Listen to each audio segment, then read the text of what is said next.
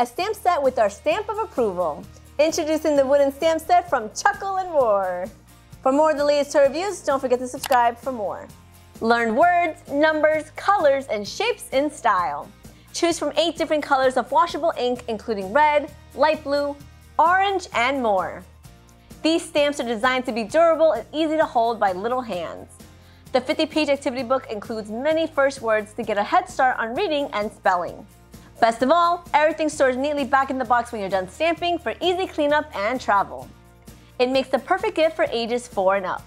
What are your thoughts on this fun educational set? Let me know in the comments below. My pros, it helps to develop hand-eye coordination.